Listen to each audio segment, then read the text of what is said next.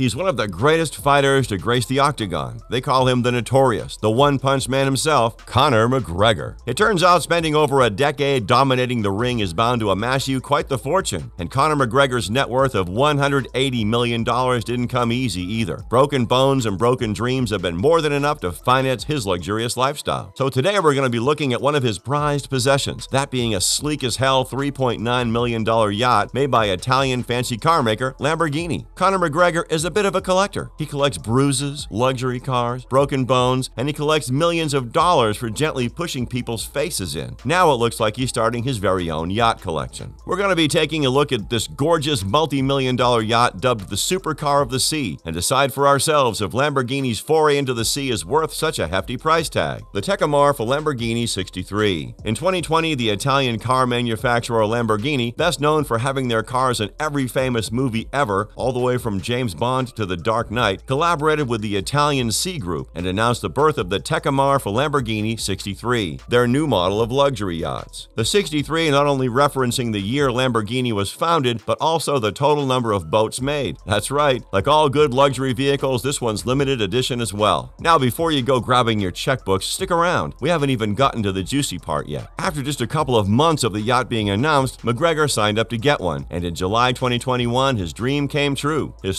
$3.9 million yacht had arrived, originally costing $3.4 million, with the 500,000 added on top to give it that McGregor touch. Let me start off by stating the obvious. This superboat has Lamborghini written all over it, and I'm not just talking about the emblems either. The Lamborghini Tecnomar is heavily influenced by the glorious vehicles of Lambo's past. The steering wheel is inspired by the Lamborghini Sian. Its seats that make you feel like you're in the cockpit of a fighter jet are inspired by the Lamborghini STO. Even its automatic ignition button is inspired by other Lamborghini models. And that's not all either. This car is full of references to other models all the way from its rope entry to its headlights. The chairman and CEO of Lamborghini, Stefano Domenicali, even said if he had to imagine a Lamborghini on water, this would be his vision. Now, right here is how you pay homage to 63 years of brilliance. Obviously, it would be disappointing if the similarities were purely aesthetic, but I mean, this is Lamborghini we're talking about here, so you know this boat goes fast. The Tecnomar comes up with two V12 2000 horsepower engines begging you to push them to their limit. You can really open it up and effortlessly reach a max speed of 60 knots or 69 miles per hour, especially out on the water where there aren't any pesky pedestrians hogging the road. The Tecnomar comes with a 3600 liter tank, allowing you to sail 210 nautical miles, giving you ample time to take a few rounds on the water before needing to refuel. It has a digital display designed to feed the rider vital information like navigation data, temperature, and humidity, really taking that fighter pilot feel to the next level.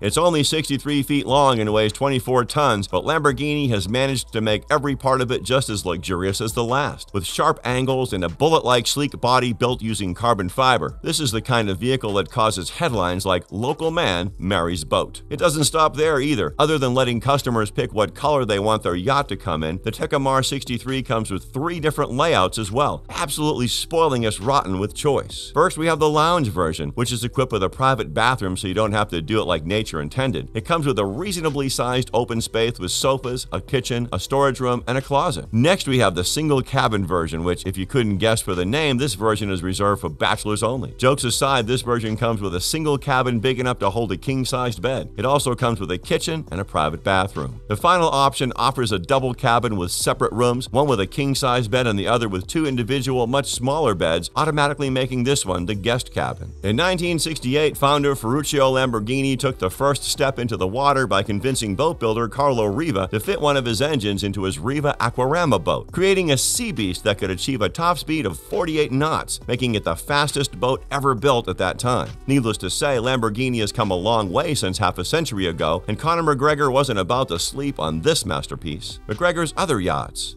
After all, he's always had a love for boats and being out in the open sea. I mean, who doesn't? After receiving his massive paycheck from his grueling match with Floyd Mayweather, he set out to celebrate and bought himself a yacht, jet skis, and a custom built Volkswagen and drove out to the water. He named the vehicle 188 in reference to the amount of euros he was receiving back when he was on social welfare before he started crushing skulls. In the ring, that is. He later gifted the 188 to his dad, Papa McGregor. He didn't remain boatless for very long. In 2019, he posted a video to his Instagram page page of him ordering the $3.4 million Prestige 750 yacht. This yacht is a 75 foot seafaring wonder that combines French savoir faire, cutting edge technology, Italian aesthetics, and unique design features. It upends traditional design codes and offers new levels of comfort, which is a very fancy way of saying it's a freaking sweet yacht. The motor yacht was designed to take you out to sea and keep you there, ignoring all the responsibilities that come with solid ground. Whether you're on open waters or at anchor, the multiple living spaces on deck, massive cockpit, and an immense terrace on the flybridge will have you dazed with comfort. The yacht provides an intimate living space with private access, a large walk-in closet, a wide desk, and an independent shower compartment. Big surprise, Conor McGregor rode this yacht to Fight Island to face Dustin Poirier at UFC 257. So far, this is about the extent of McGregor's yacht collection, although he did spot another yacht that he says made him drool. It's the vessel owned by Russian billionaire Andrei Melnichenko, his 469-foot mega yacht that cost about 300 to 400 million dollars. A vessel beautiful enough to inspire McGregor to take a few more punches so one day he'll be the one making people drool, with his pretty boat of course. And if you enjoyed this video, do leave us a like and check out the King Luxury channel for more videos all about luxury. Thanks for watching, and we'll see you next time.